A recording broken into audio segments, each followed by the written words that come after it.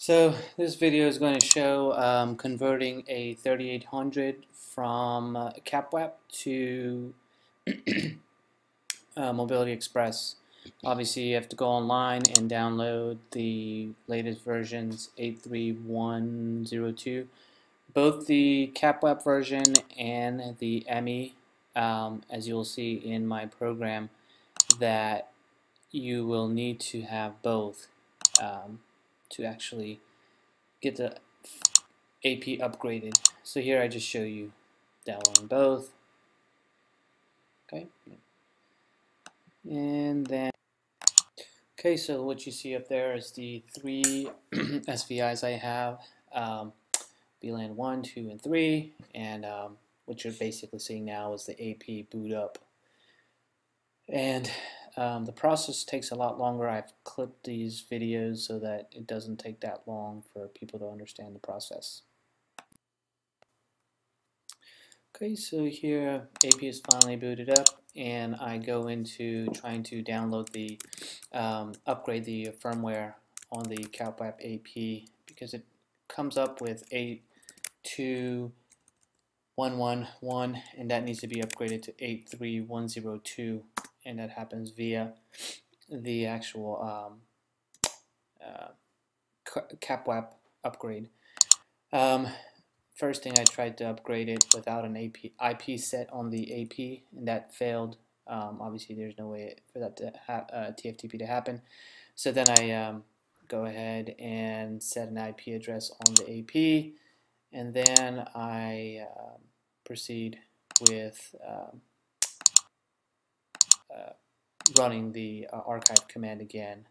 And this time it actually you'll see runs.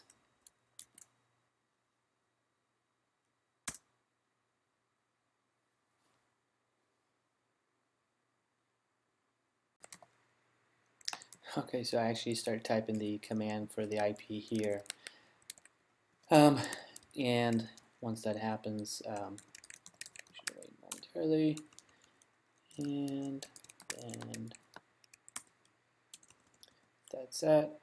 Go ahead and run the archive command again. Voila.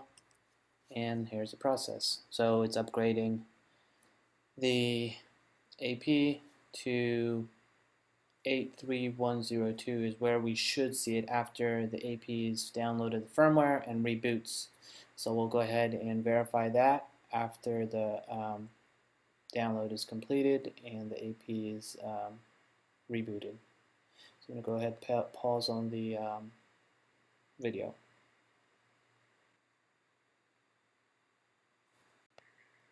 Okay, so we're back and we're able to verify that 830183102 83102 is actually running on the AP now and that's good. So we can go ahead next to upgrading the CAPWAP to ME.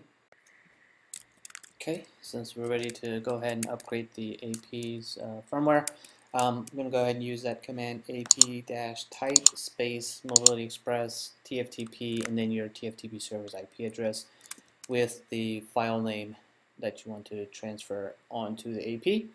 Um, and we'll go ahead and let that transfer once the transfer is done, um, again, it's going to reboot. It's going to boot up as an AP, and then it will take a some time to um, let the controller boot up. So you'll see it come up as an AP first, then um, you know be patient, and you'll see it convert into the controller, um, and then you'll get the auto install um, window to come up. So I actually have that um, in my next video frame.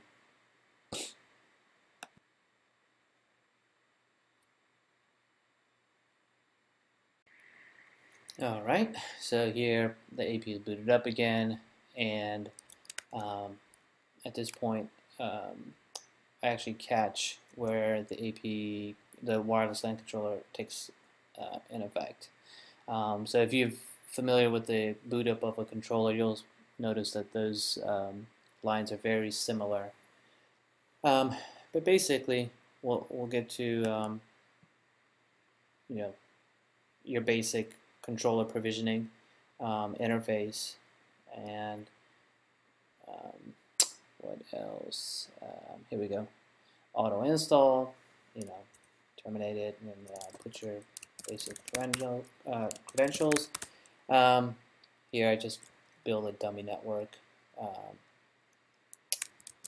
just for you to see the process um, that it's no different than building um, a controller a 5500 or 5520 or what have you.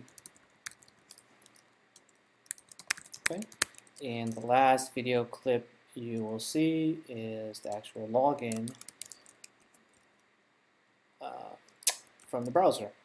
So I'm going to go ahead and stop my audio because it's just a bunch of um, going through that install process. All right.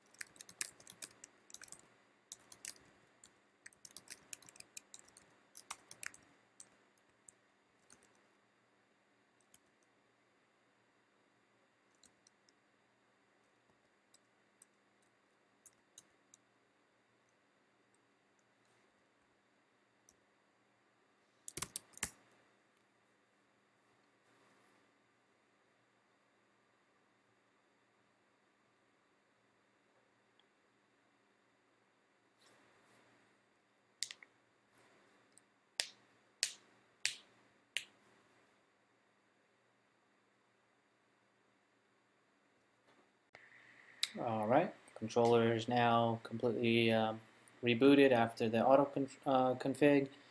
Um, just logging in to show you the interface, and then we'll do the GUI. Okay, go ahead and log into the browser. Um, go ahead and accept the certificate. Again, it's our standard controller. Log in. And in this video, I'm not going to go into the details of um, 8.3 code, but that's um, to be continued. Um, there'll be another video on the blog um, in the coming weeks. So that's it.